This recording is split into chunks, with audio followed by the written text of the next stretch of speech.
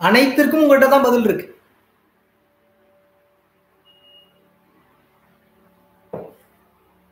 அப்படி இருக்கிறப்போ யாருகிட்ட போய் கேட்பீங்க நீங்க? என்ன சொல்லி தருவாங்க உங்களுக்கு? மிஞ்சி மிஞ்சி போனா என்ன சொல்லி தருவாங்க? இப்படி இரு அப்படி இருக்காது. அவ்வளவுதான் சொல்லுவாங்க. ஆனா சாட்சாத் உயர்ந்த நிலை அடைந்த வள்ளலார் திருமூலர் போன்ற மிக உயர்ந்த ஞானிகள் மகான்கள் தான் எல்லாத்தையும் வெளிப்படையா ஓப்பனா சொல்லிட்டு போனாங்க. எந்த ஒளிவும் மறைவும் இல்லாமல்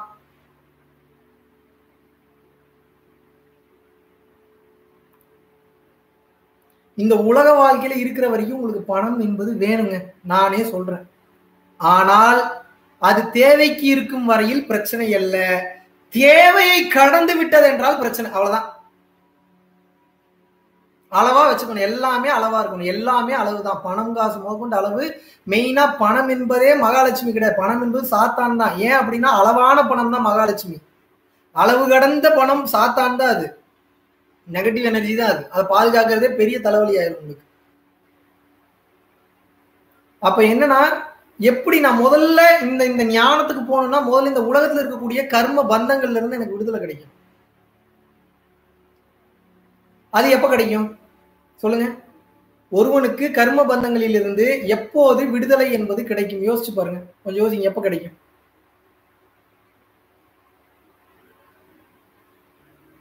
ஒரு மனிதன் என்பவன் எப்போது நான் வேற இந்த ஆத்மா என்பது வேறன்றத புரிஞ்சுக்க ஆரம்பிக்கும் போதுதான் அந்த கர்ம பந்தங்கள்ல இருந்து கொஞ்சம் கொஞ்சமா அவனுக்கு ரிலீஃப்ன்றதே கிடைக்கும். அது வரைக்கும் அவனுக்கு ரிலீஃப் கிடைக்கிறதுக்கு வாய்ப்பே இல்லை. எப்படி கிடைக்கும்? கிடைக்கிறதுக்கு வாய்ப்பே இல்லை.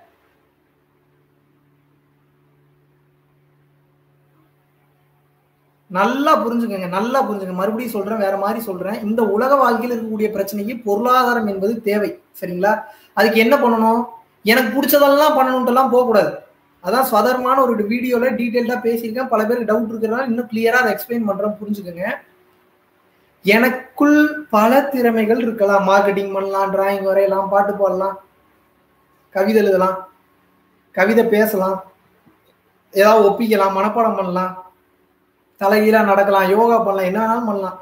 ஆனா இதுல பல திறமைகளில் நான் எந்த திறமையை நான் வெளிக்காட்டும் போது மக்கள் பிரமிக்கிறார்கள். உங்களுடைய சக நண்பர்கள் ஊழியர்கள் பிரமிக்கிறார்களோ?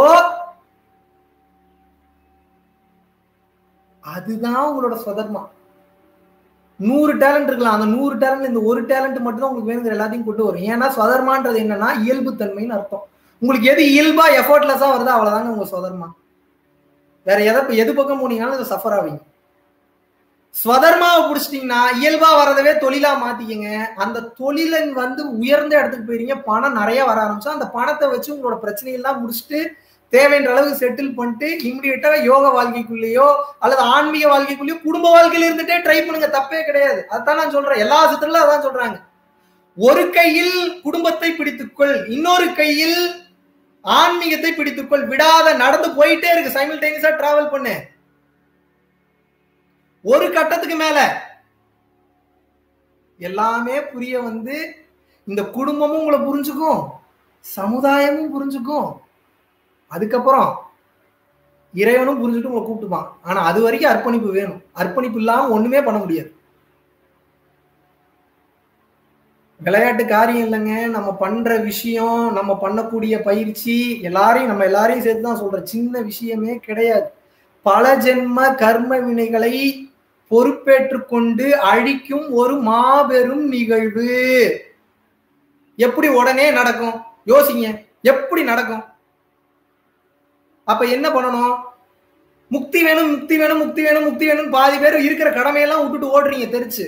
உங்களுக்கு இந்த உண்மையை சொல்றது இங்கேயே இது இதெல்லாம் தேவையில்ல. விட்டு ஓடுங்க வீட்டு விட்டு ஓடுங்கன்றக்கா கிடையாது. இந்த உண்மை புரிஞ்சதுக்கு அப்புறம் மன இறுக்கம் குறையும். மன இறுக்கம் குறையும் போது இந்த வாழ்க்கை சிறப்பா வாழ இந்த உலகம் படைச்சதே நீங்க சந்தோஷமா வாழ்றதுக்கு தான். பிடிச்ச மாதிரி சந்தோஷமா வாழ்றதுக்கு தான். அதை விட்டுட்டு எல்லா வேலையும் பண்ணிட்டு இருந்தா எப்படி? அப்ப இந்த ஞானம் வந்ததுக்கு அப்புறம் ஞானத்தால் அணுகு ஞானத்தால் பார் ஞானத்தால் கேள் ஞானத்தால் நுகரு ஞானத்தால் சுவை ஞானத்தால் உணரு. எல்லாமே ஞானமா மாறிடணும். வாழ்க்கையே தவமா மாறிடணும். எப்படி தவமா மாறும் வாழ்க்கையே? மூச்சு பயிற்சி கண்ணை மூடியோ கண்ணை திறந்த மேல கீழே ஏத்தி இறக்கில கவனம் வைக்கிறது மட்டும் தவம் கிடையாது. அதுவும் தவம் தான் உங்ககிட்ட இப்ப நான் பேசிட்டு இருக்கேன்னா பேசுறதுலயே மூழ்கிடணும். காணாம போயிடணும். கரைஞ்சிடணும். அதான் தவம். என்னை சுத்தி என்ன நடக்குதுன்றதே எனக்கு தெரியக்கூடாது. அதான் தவம். ஒரு மிஷின் ஒன்று தச்சுக்கிட்டே இருக்கேன். அந்த துணியும் நானும் ஒன்றாகி விட்டால் அதுதான் தவம். அந்த ஊசியும் நானும் ஒன்றாகி விட்டால் தவம். வேற எங்கேயும் கான்சன்ட்ரேஷன் போவோம் ஃபுல் ஃபோக்கஸ் இங்கே கொண்டு குதிச்சிட்டிங்கன்னா அவ்வளோதான் தவம். சாப்பிட்றீங்க. எதையோ நினச்சிட்டு டிவியை பார்த்துட்டு ஏதோ வாய்க்குள்ள போட்டுக்கிட்டு இல்லை அள்ளி அள்ளி அள்ளி போட்டுக்கிட்டு என்னமோ சேர்த்து அடைக்கிற மாதிரியே சோத்தை வச்சு அடைச்சிக்கிட்டு இருக்கீங்க வைத்த பசித்திரு விழித்திரு தனித்திருங்கிறார் வள்ளலார் இதுதான். அரை வயிறுக்கு தான் சாப்பிடணும். எவ்வளோ பசிச்சாலும். ஏன்? அதான் எனர்ஜியான பாடி லாங் லைஃப் வர முடியும். அதிகமாக சாப்பிட்றேன் எவனுக்குமே அதிக வாழ்நாளே கிடையாது. எழுதி வச்சுக்கோங்க. எல்லா சித்தர்களும் சொல்லிட்டாங்க. உணவை கண்ட்ரோலுக்கு கொண்டு வரவனால மட்டும்தான் உடல் கண்ட்ரோலுக்கு வரும் மனம் கண்ட்ரோலுக்கு வரும். அதுக்கப்புறம் தான் பண்ணாத பல விஷயங்களை பண்ண முடியாத பல ரகசியங்கள் எல்லாம் பண்ண முடியும். அது வரைக்கும் உங்களால இது அவ்வளோ சுலபமான காரியமே அல்ல. அப்ப என்ன பண்ணணும்? இந்த உலகம் சார்ந்த கமிட்மெண்ட்ல இருந்து முதல்ல நான் தப்பிச்சிடணும். அதுக்கு என்ன வேணும்? பணம் வேணும். அதுக்கு என்ன பண்ணணும்? உழைக்கணும். அதுக்கு என்ன சம்பாதிக்கணும். எப்படி சம்பாதிக்கணும்? ஆசையோட சம்பாதிக்க கூடாது. கடமையை முடிக்கணும்ன்றக்காக சம்பாதிக்கணும். ஆசை வந்துருச்சுன்னா பிரச்சனை பணத்து மேல. என்றைக்காக இருந்தாலும் பிரச்சனை தான்.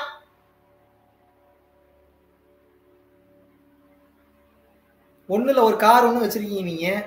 உங்களுக்கு அந்த கார் மேல அட்டாச்மெண்ட் வந்ததுன்னு வைங்க. என்ன தெரியுமா ஆகும்? ஒரு எக்ஸாம்பிளுக்கு சொல்றேன். யாராவது தெரிஞ்சவங்க வந்து கேட்கும் கூட நாளைக்கு நமக்கு வேலையில்னா கூட நாளைக்கு நமக்கு ஏதாவது வேலை வந்துருச்சுன்னா திங்க் பண்ணி காரே கொடுக்க மாட்டேன். கார் மட்டும் எல்லாத்தையும் தான் சொல்றேன். இதுவே அவன் நம்ம உயிர் தான் அப்படின்னா நான் தான் காரை ஓட்டிட்டு போக போறேன் அப்படின்றப்ப கார் தைரியமா கொடுத்துருவீங்க நீங்க. அப்ப என்ன உங்க உங்க மேல அவனுக்கு ஒரு நல்ல அபிப்பிராயம் உங்களை ரெஸ்பெக்ட் பண்ண ஆரம்பிப்பாங்க. அதான் மேட்ரு அதான் விஷயம் அதான் சமாச்சாரம்.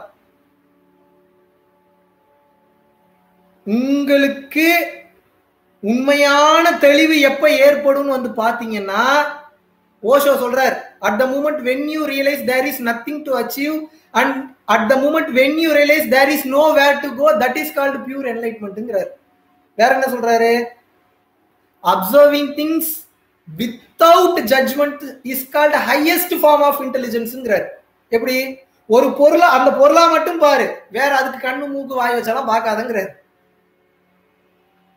ஏன் கண்ணு மூக்கு வாய் வைக்கும்போது வேறையா மாறிடுதுப்பா. அதோட இயல்பு தன்மை இழந்துருச்சு. அப்புறம் எங்க போய் அதுல போய் பார்ப்பேன்?